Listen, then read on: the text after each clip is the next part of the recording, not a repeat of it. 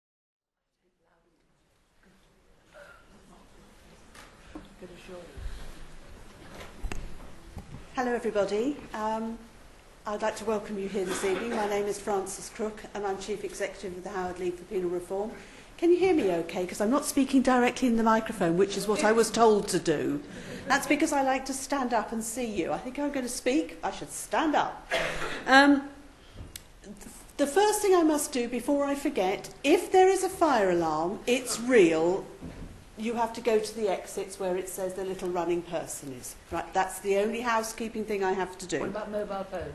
Oh, that's a good point. Good point. I'll confiscate them if they go off. well done. All right, so you can mute them or whatever. Uh, we, we don't mind if you want to tweet about it or if you, other social media are obviously um, available. Um, please feel free, but yes, we, we don't like rigging tones.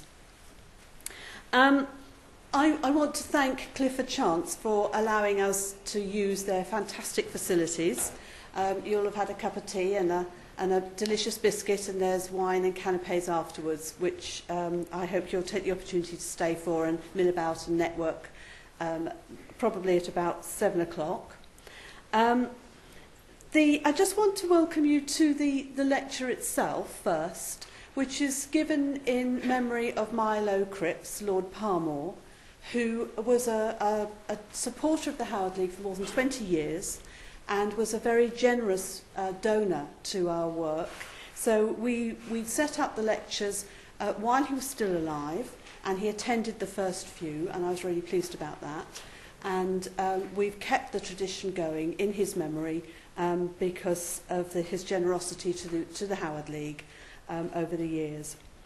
Um, I'm extremely pleased that Alison Saunders, the relatively new Director of Public Prosecutions, um, is, is, uh, is going to speak this evening. But first we're going to do, we're going to award some prizes. Um, and again, they're given in memory of a, of a long-term,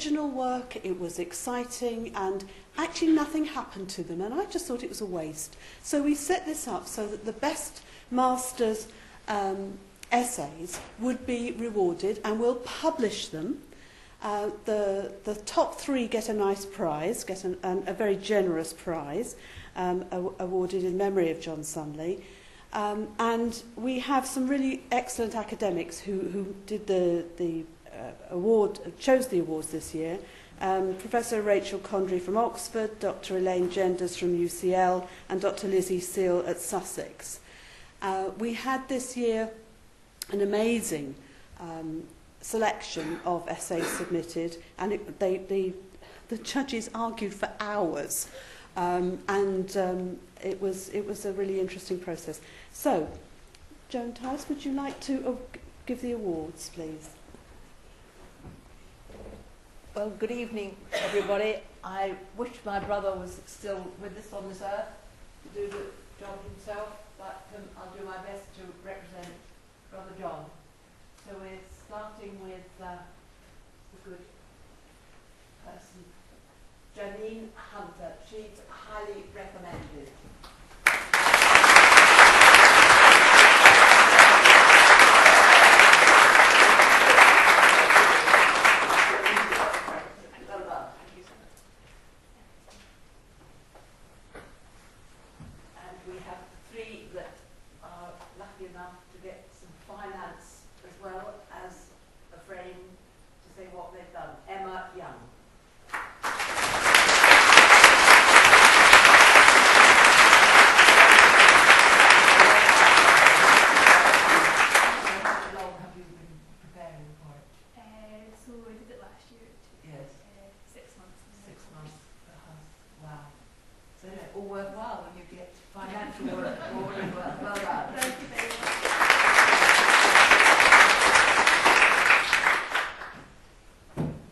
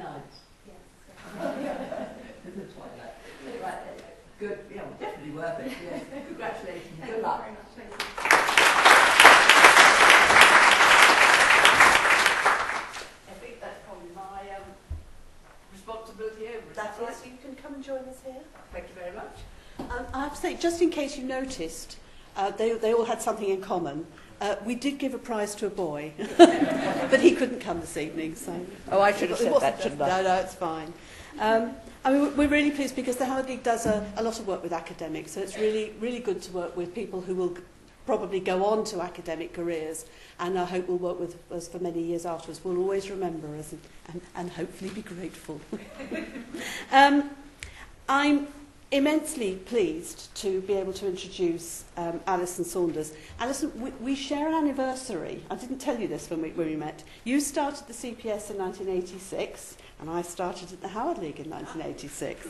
Uh, so we've both been um, shared our, a, a sort of similar career trajectory in a way.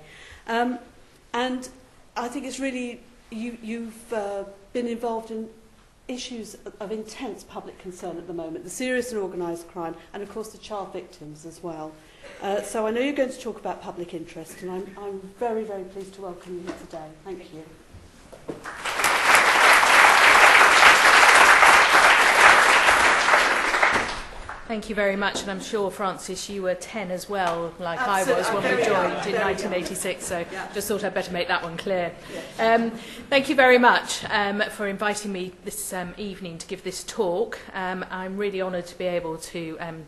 deliver your annual lecture and hope very much that I live up to expectations. And I've managed to leave enough time, I hope, at the end um, for a question and answer session. So if you have any burning questions, um, so long as they're nice ones, of course, then please do ask at the end um, when I've finished, um, and hopefully we can engage in a useful debate.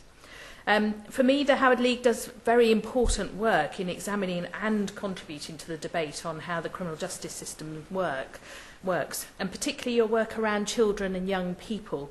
Um, that has a special resonance for us as prosecutors, as we need to make sure that those come in, that come into contact with the criminal justice system very early in their lives, as defendants, victims or witnesses, are supported and come out of it with an outcome um, that is positive. um, hard to do in the criminal justice system and that's why the work is so important about trying to actually prevent people getting into the criminal justice system at all and I will return to that later. Um, I've been lucky enough, as Francis said, to work for the CPS for a number of years and worked in a range of roles. And for me, it has been an incredibly positive career. Um, and I've been very um, grateful to be able to work for a service and in a job that has brought me great satisfaction um, knowing that the work that I do helps protect the public and also supports one of the key tenets of an open and democratic civil society, that's the right to a fair trial, is really important to me and to the prosecutors who I work with. And it's easy for others to forget sometimes that that is important to us as it is to everybody else, that there is a fair trial and that we play our part in making sure that there is a fair trial. Um, prosecution isn't always an easy role, um, I wish that it were, um, and I know all too well that some of the recent decisions that we have made um, prompt some public debate, quite rightly so. Um, in recent years, we have become far more transparent and open. We explain our decisions now in a way that we never used to, certainly when I um, started in 1986. We would barely explain our decisions to police officers, let alone explain it to the general public or to society as a whole. So we've vastly improved the amount and the quality of information that we give to the public in order to better explain how we have arrived at our decisions.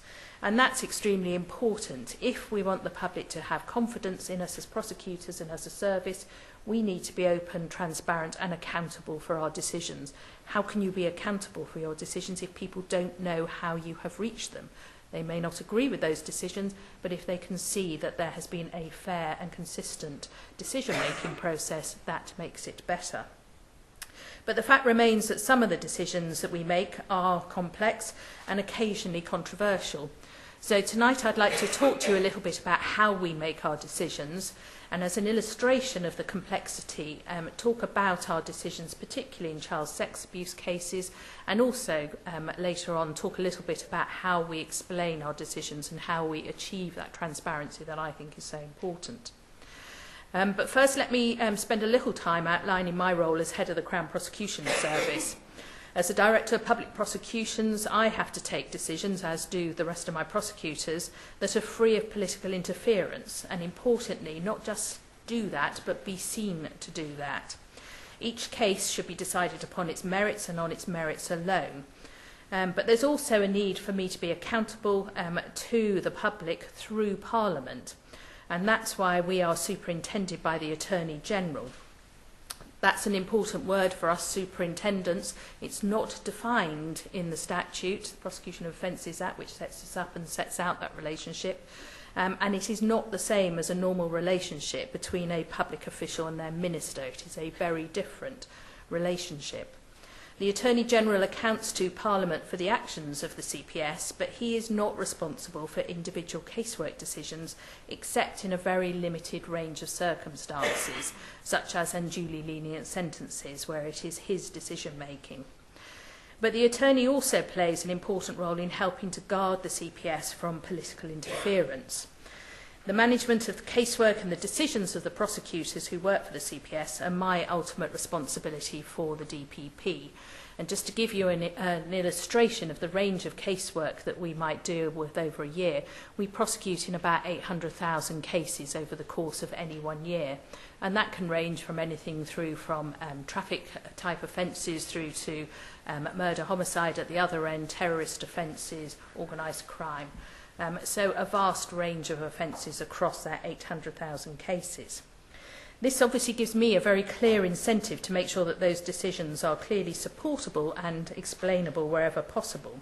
And there are tools that help me and all prosecutors to do this. For example, our legal guidance on particular offences, which are published on our website for everyone to see.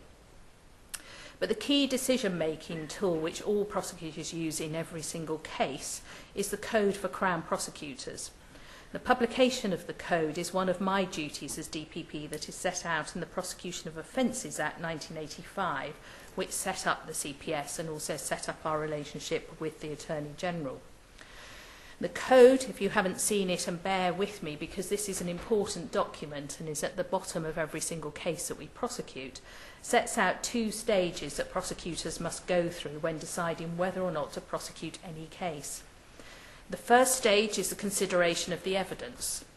Um, if the case does not pass the evidential test, it will not go ahead no matter how important, sensitive or complex that case is. If it doesn't pass the evidential stage, that is an end of the matter and Crown prosecutors will terminate the prosecution or not um, bring it in the first place. However, if it does pass the evidential sta stage, there is another test that Crown prosecutors must go on to consider, and that's to decide if a prosecution is needed in the public interest. Dealing firstly just with that evidential stage to explain a little bit more about what it is about, prosecutors must be satisfied that there is enough evidence to provide a realistic prospect of conviction against each defendant on each charge. And when deciding whether or not there is enough evidence to prosecute, prosecutors will consider whether the evidence can be used or is reliable and can be used in court. They must also consider what defence might the defence case might possibly be and how that is likely to affect a prosecution case.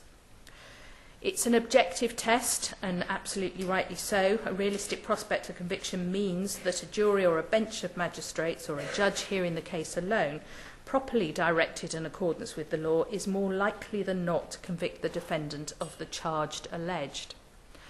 Importantly, and sometimes this is overlooked, this test is a separate one from the, and a very different one from the test that criminal courts themselves apply. A court should only convict if satisfied to the extent that it is sure of a defendant's guilt. And this is why, from time to time, in the wake of an acquittal, it is sometimes asked Why did the prosecution decide to go ahead with the case? In these instances, the prosecution has established that there is a realistic prospect of conviction, but the bench or jury has decided that it has not been proved beyond reasonable doubt. There's been some examples recently of um, some cases involving well-known people where this has been acutely um, highlighted in the press and debated. In those cases, our cases were strong enough to be put to the court, and of course we accept the judge or the jury's decision. But it must be remembered that the roles of the CPS and the jury are completely different. And so it is entirely legitimate for them to come to different conclusions, but entirely possible for it to have been right to bring a case for the, to court, but right for the jury to acquit. Additional protections are that if a judge feels that a prosecution case should not be put to a jury, he or she can direct an acquittal. Last year, about 0.7% of CPS prosecutions led to a judge-directed acquittal in such circumstances, so an extremely small percentage. And it is not an acquittal, as some commentators have suggested in recent times, a crisis justifying a review of the prosecution service. It is justice working as it should do. Um, just a little bit of audience participation at this point, um, uh, which you may not have been warned about. But just let me um, ask you some questions before you get in and ask me anything. Um, on a sort of straw poll, just a show of hands, um, I'd like to sort of just take you through what you think a good um, percentage or conviction rate should be. So does anyone think that the prosecution service should be obtaining convictions in 90, over 90% of cases? Hands up if you do. Nope, Over 80%? Okay, a few more. Um, 70%? Oh, interesting. Any below 70%? Oh, gosh. I think some people voted twice. um, that's really interesting because some of the publicity that you'll have seen recently is around we've had an acquittal, therefore it's a crisis, the case should never have been brought. And there seems to be a misunderstanding of the tests that we bring and the tests that the court bring. And certainly I would not want to be um, in charge of a prosecution service where we are taking cases to court and getting over 90% or 95% or whatever um, convictions, because I think we could rightly be accused then of being risk averse, only taking those cases that we thought, and not actually um, serving the public that we serve. Um, and it is justice as we see it in our country actually taking effect that the jury and the court have a role to play in deciding guilt or not. Um, just to answer the question that may come later, our conviction rate is around 85%. Um, so it's a lot higher than many of you think it should be. So that's an interesting thing for me to take away and reflect on. Um, after we've looked at the evidential test, we then go on to look at the public interest test. And it's never been the case, and nor should it, that just because the evidential test is satisfied, that a prosecution automatically follows. And again, that is sometimes a misconception that there is in, um, in the public. So in every case, we go on to consider whether a prosecution is um, required in a public interest, and the code sets out the sort of factors, and it's not an exhaustive list, but it sets out the sort of factors that prosecutors should take into account. So some of it will be, um, can we actually sort of deal with the case by way of an out-of-court disposal? Is that going to be a better way of dealing with it than taking the case through the court? And the other factors that we'll, um, we'll look at is something like the seriousness of the offence, the culpability of the suspect and the level of culpability. And clearly, the more serious the offence or the greater the culpability, the more likely it is that a prosecution will follow. Um, the circumstances of the victim are also highly relevant to our decision making. So, again, the greater the vulnerability of the victim, the more likely that a prosecution is required. And this is particularly so when a victim or um, a suspect is in a position of trust or authority um, and there is that relationship between the victim and suspect. But prosecutors will also take into account the views expressed by the victim about the impact that the offence has had, or in appropriate cases, the views of the victim's family. But the circumstances of the defendant are also highly relevant to our decision making process. The criminal justice system we know treats children and young people differently from adults, and significant weight must be attached to the age of the suspect if they are a child or a young person under 18.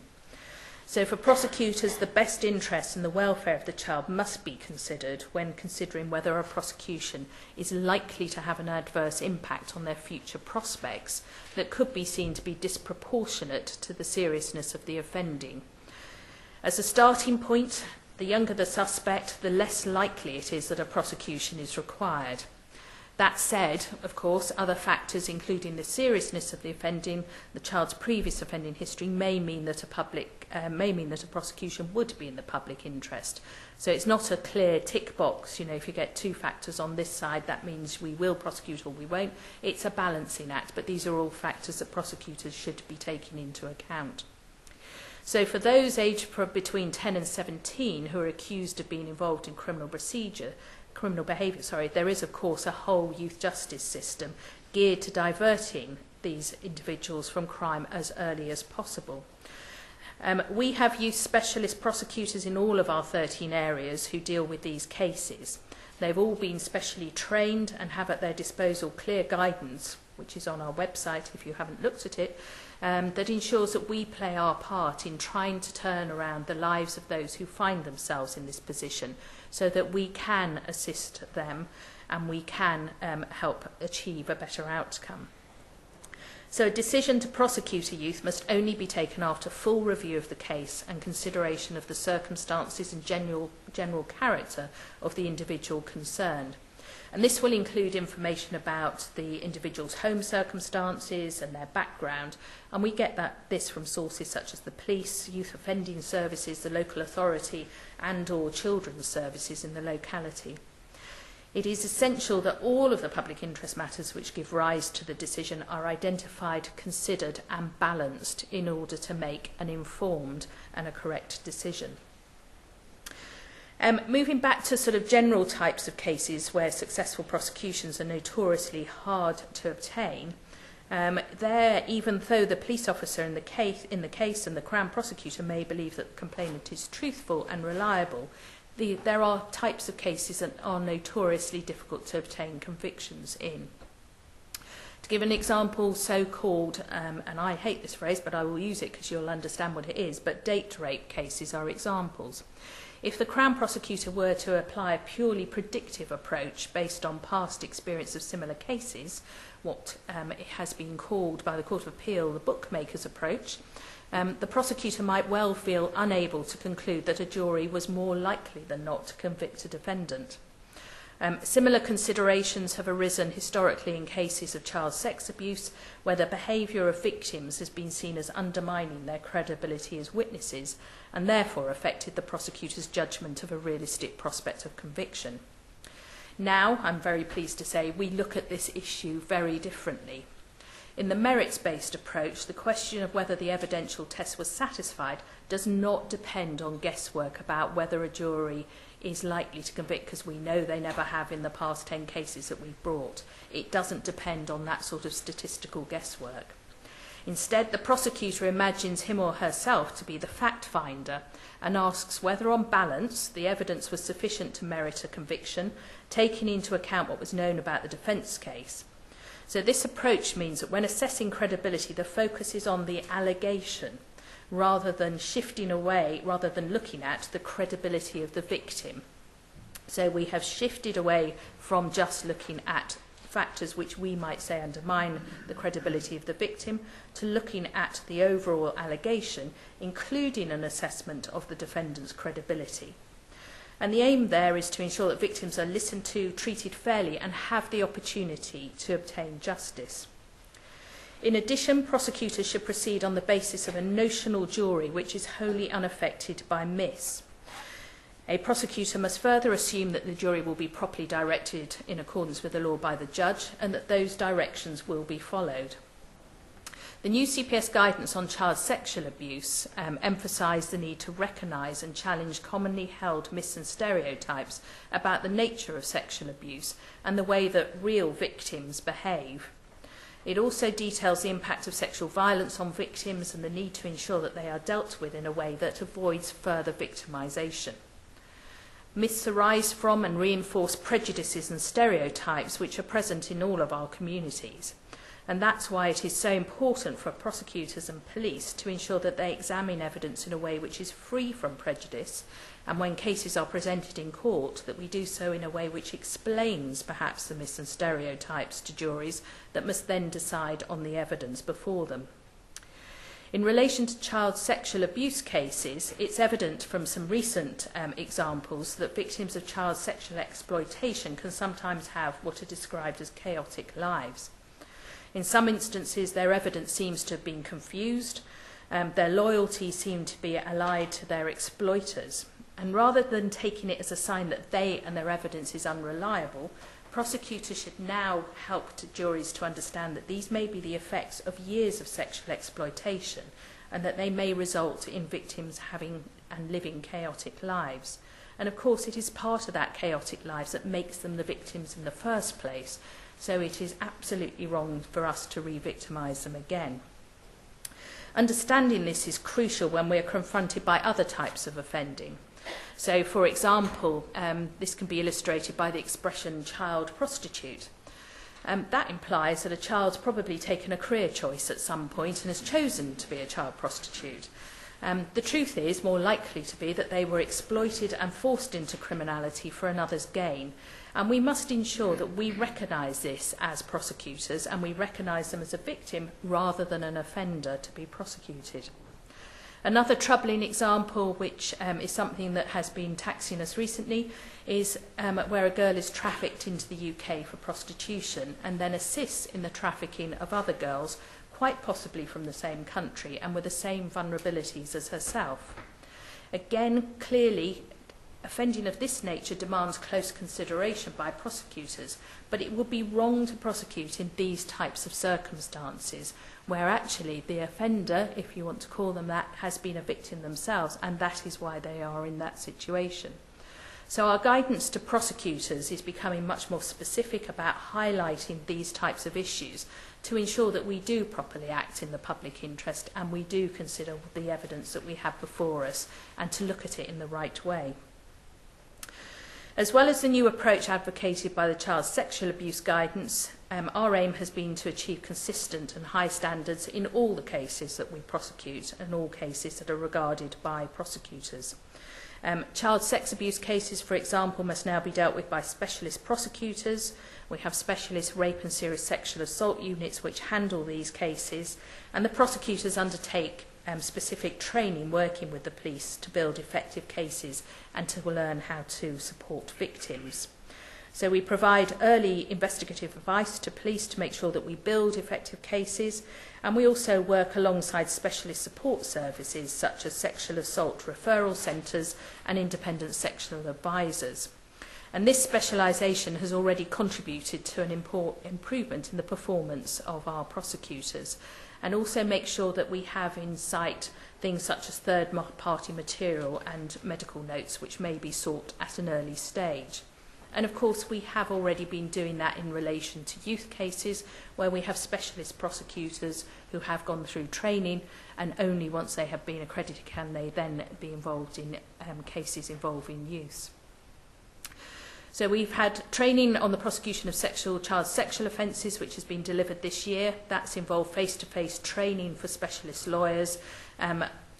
dealing with lessons learnt from um, the Jimmy Savile case, and also in-house training for all prosecutors to introduce our new child sexual abuse guidance, which we're widely consulted on.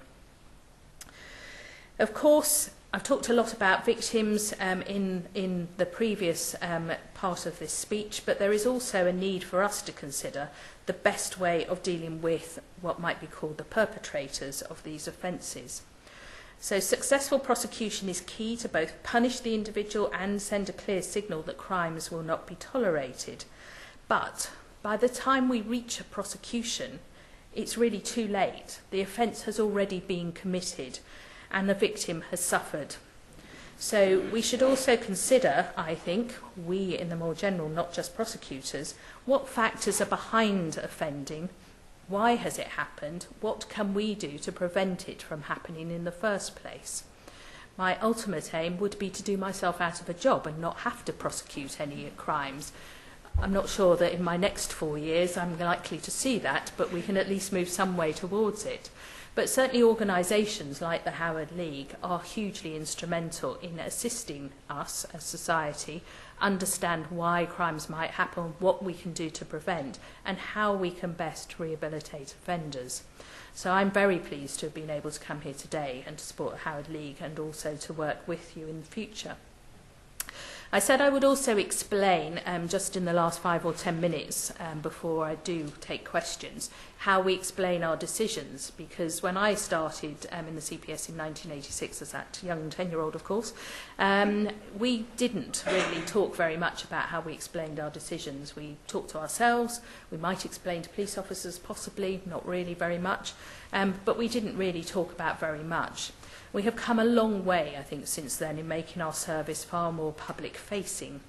So we've taken a far more open um, approach to policy making, which is important, and we consult with interest groups and experts to help develop guidance for our prosecutors. So we not only do that with experts um, who we get in to help us draft the um, guidance in the first place, but we also put our policies out for public consultation.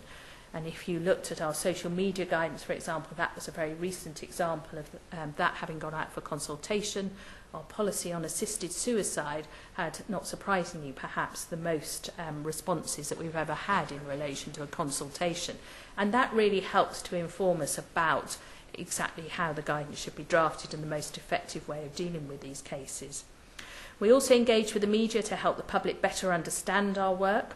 And we have recently reformed the way that we communicate with victims. So each area across the CPS now has dedicated victim liaison units who are specifically trained to communicate in a way that doesn't just use legalese, which we're often accused of. And I've certainly seen it and wondered myself, actually, how anyone else would understand the letter, because I couldn't. Um, and also, it's really important that we uh, communicate in a way where we show some empathy and we explain our decisions in clear and plain language. That's what the victim liaison units do. And we have also recently, over the last year, introduced the Victims' Right to Review policy. And this provides victims with a clear opportunity to ask us to look at a decision not to start or to stop a prosecution.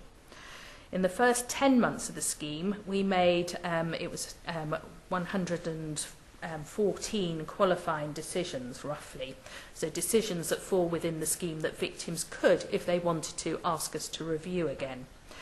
Um, of that, 162 um, decisions, um, which is equated, equates to 0.14%, were overturned. So only a very small proportion of decisions needed to be changed. But I think this is a really important development because it shows as an organisation we are prepared to listen if people think we have our decisions um, wrong, if we've made the wrong decision.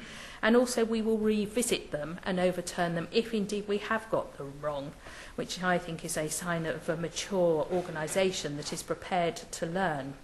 We are now tracking those cases to see what happens to them as we take them through the courts, and so far the success rate in those cases where we have reinstituted the, the prosecution has been good. Again, all of these measures are vital because we prosecute on behalf of the public. Um, we don't do it for fun. We act on behalf of you and the rest of the public, and therefore it is important that we are seen and must act in relation to the public interest. This means we have a duty to be open and accountable to the public, explaining our decisions and helping the public to understand our approach. I hope um, that what I have talked about tonight contributes a little bit towards explaining how we make our decisions and our approach. I hope it explains the tests that we do and how we take our role very seriously we are completely jealous about our independence um, and get quite vociferous if it is challenged at any point by anyone, and quite rightly so. We are independent, we act on behalf of the public, and it is important that everybody sees what we do and how we do it. So thank you for the opportunity for allowing me to um, make this speech tonight. Um, and I think I'm probably just about on time and ready to answer any questions.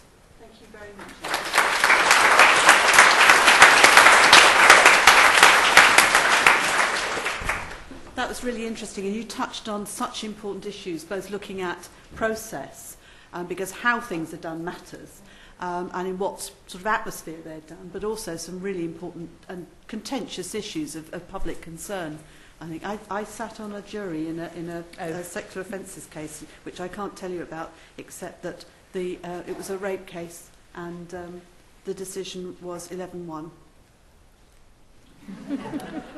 Anyway, they all went to the pub without me. kept them there all day. Um, right. um, questions and, and uh, or comments? We, we do have microphones. We do have microphones. Um,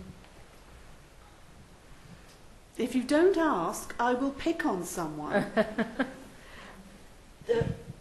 yes, in the middle. Say, your name and Thank you. Uh, Paul Sales, would you care to comment about the age of criminal responsibility, which many people feel to be much too low? Um,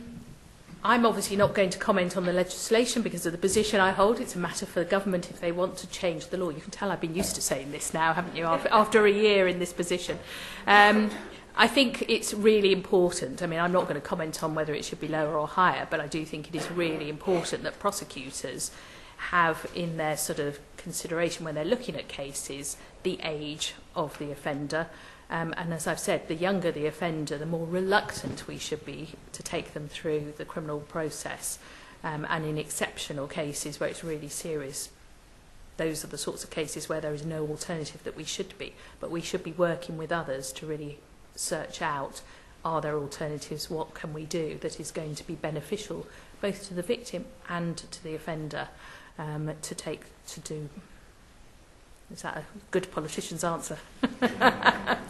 and the answer to your question, Paul, is yes. um, there was a lady in front here. Front, yes, yes, thank you.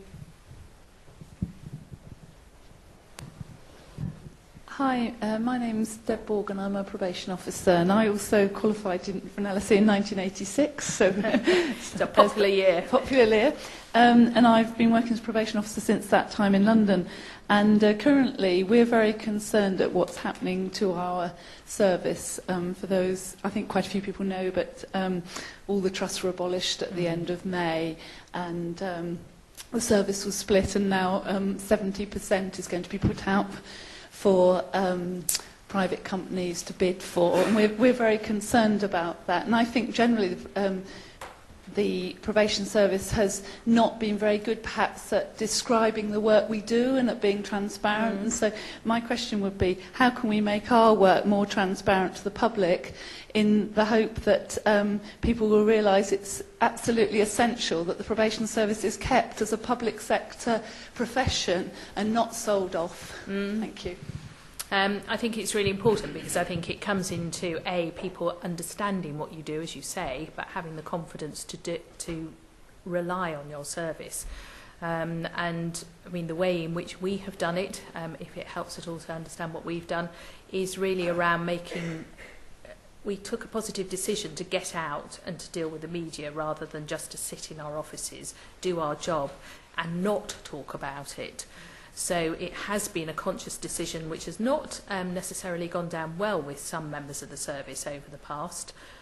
Um, and there are still some people in the service that think that we are prosecutors, we shouldn't be talking to the media at all.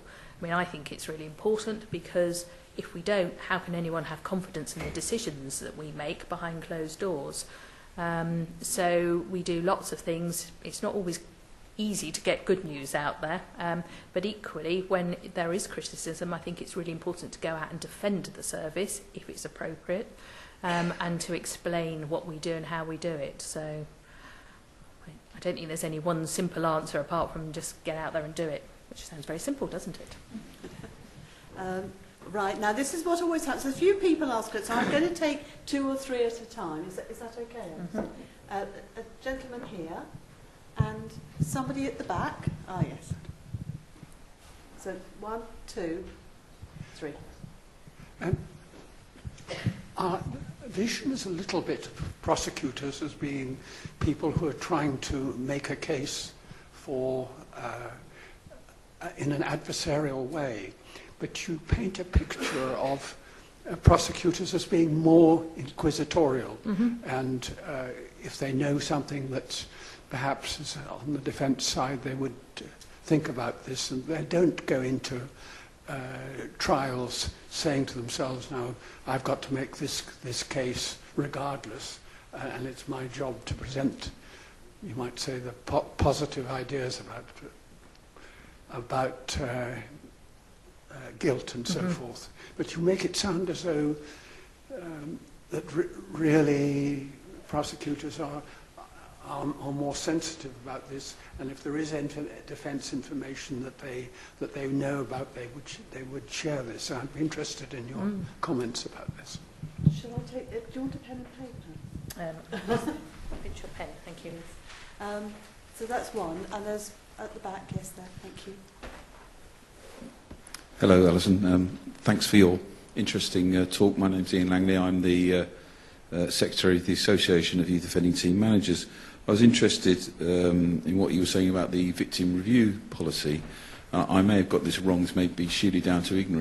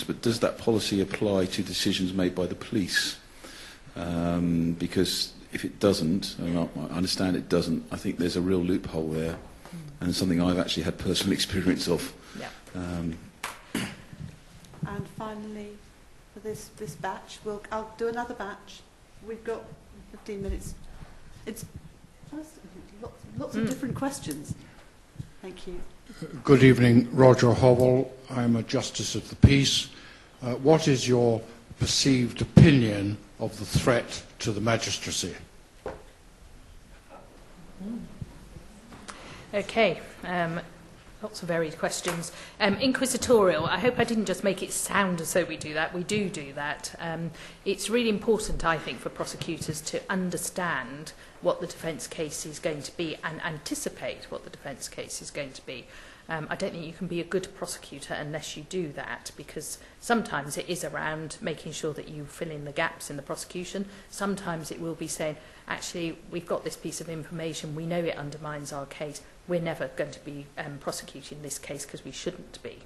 Um, and we do still discontinue many cases because um, we don't think we have sufficient evidence and therefore the case shouldn't go to court. Um, and we are very, um, we do look at cases that fail to see why did we take that case to court? Was it one that we shouldn't have done in the first place? What lessons can we learn from it? Um, but it is very important that we act in that inquisitorial way. And of course, we must look at all the information, whether we're using it or not, to see whether it undermines or assists um, the defence. And if it does, then we disclose that And some of it we can disclose and deal with, some of it will be such that we should be stopping the case. So we are very much more um,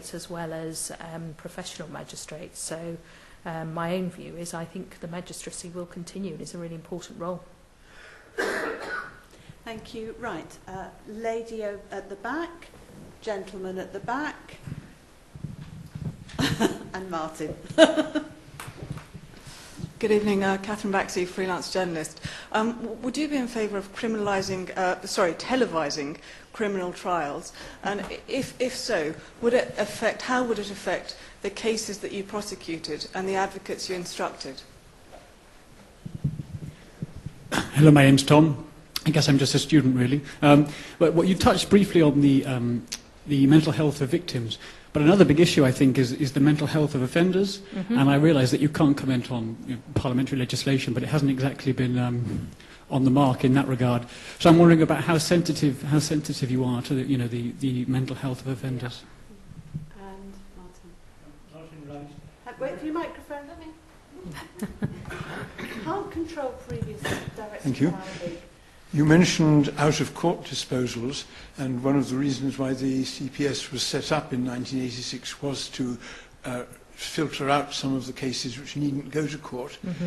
Um, one of the reasons for not prosecuting may be making reparation. Would you like to say more about referring cases to a restorative justice process mm-hmm. uh, instead of prosecuting? Mm-hmm. Because in a number of countries, prosecutors are the main source of referrals to restorative justice. Mm-hmm. Yeah. Okay, um, televising trials. Um,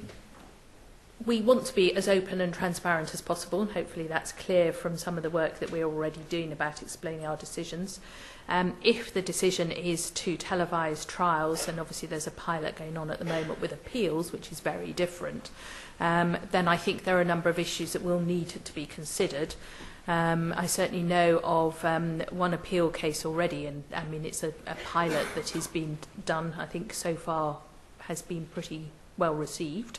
Um, I don't know how many people are watching it, but the, the appeals are going out and they're being televised. We, it's got a slight time delay, um, which is good. Um, but even then, we have already had one case with um, where a victim's name was televised, which it shouldn't have been, which caused quite a lot of distress to the victim and breached all the anonymity provisions. So there are some real issues there about how we cope with that.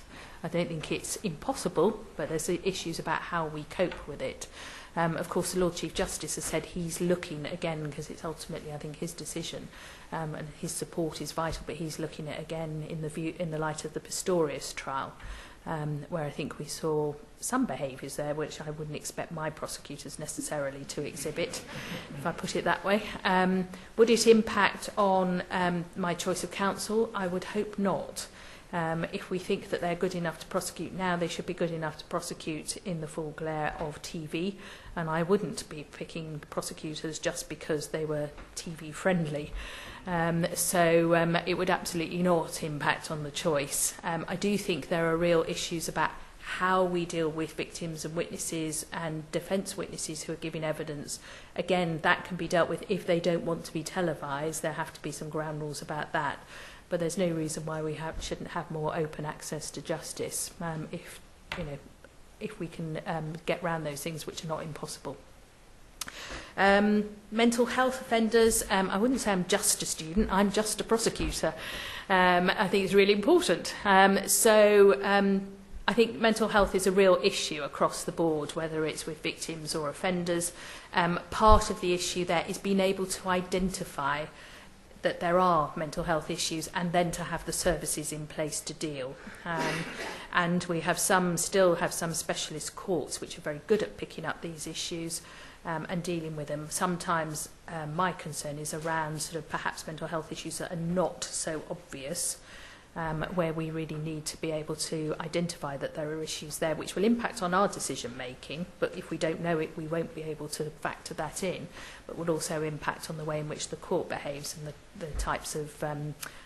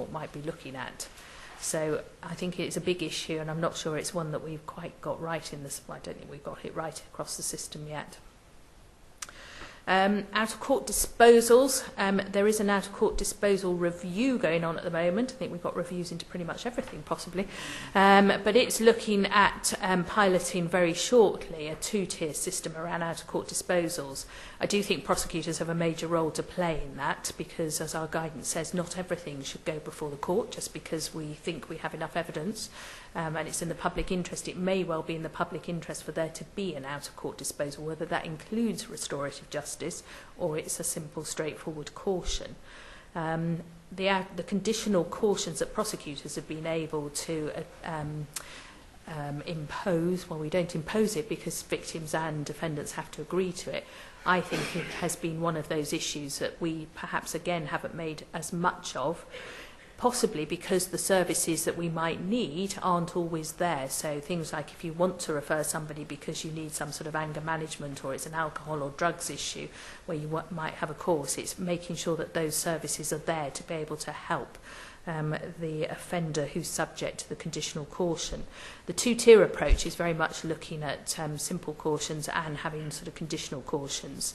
um, and prosecutors will be playing a role in that and I think it's very important because I don't think we should be putting everybody through the courts there are alternative ways which might be far more beneficial in preventing people going into the system and then just churning around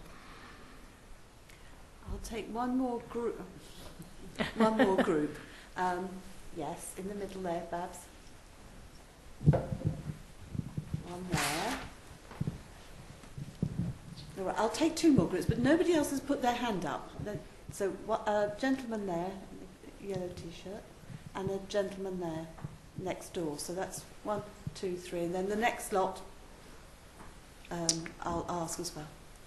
My name is Sidney Norris. I used to work in the Home Office. Uh, I'd, first just like to say how impressive and reassuring I found your account of how the Crown Prosecution Service has developed. Thank you. My question relates to those cases where you have to consider prosecuting people who have been engaged in trafficking and in sexual or other ex exploitation of people brought in from abroad.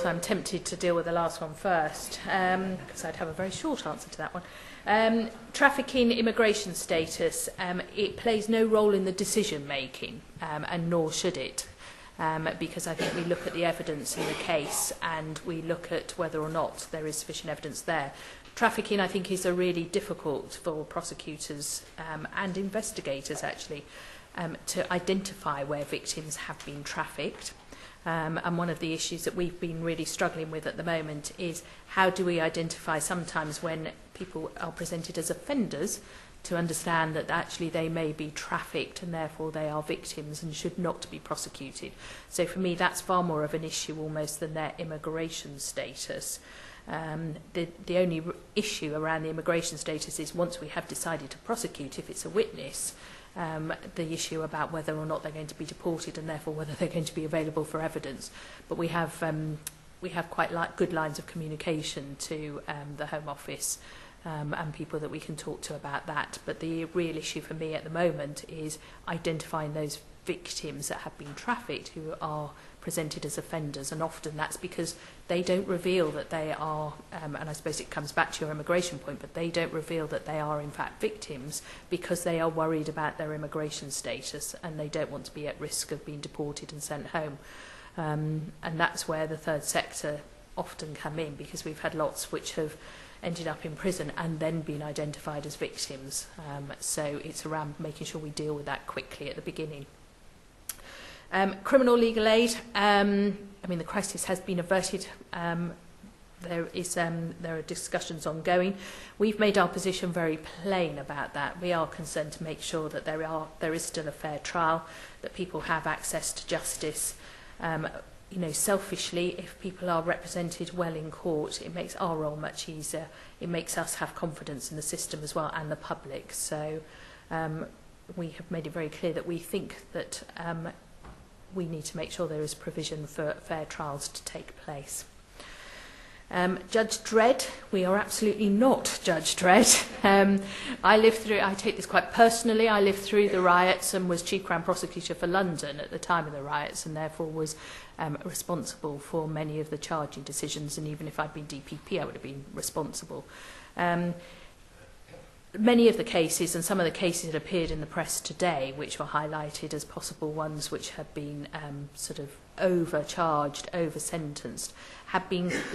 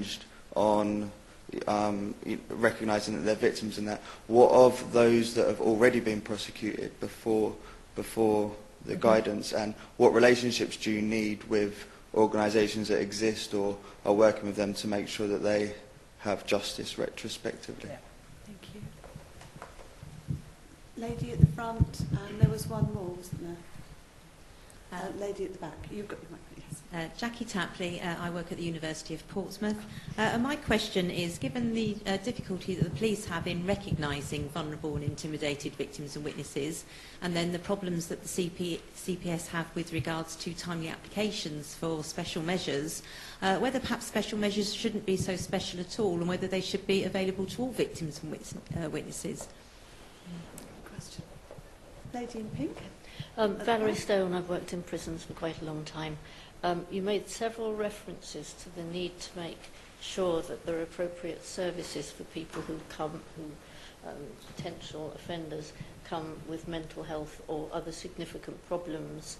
Um, given your independent status, is there any contribution you can make to this, or you, can you only say we wish there were? Okay. Um, sorry, I've just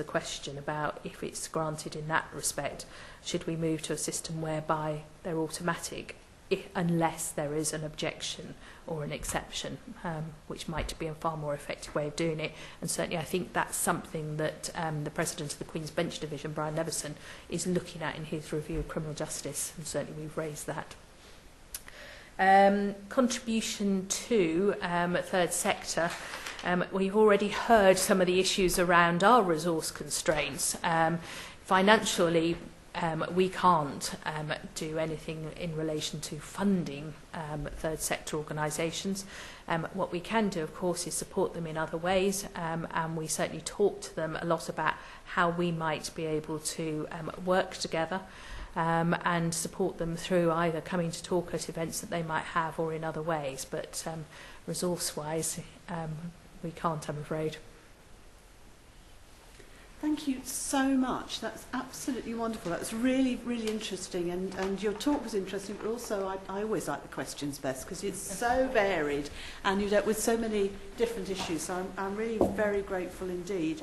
Um, fascinating. Thank you. Um, now, I just actually talking about resources, this is my opportunity to give a plug to membership. If you are not already a paid up member of the Howard League, you will not be allowed to leave the building. My staff are well trained at rugby tackling you, so be warned. Um,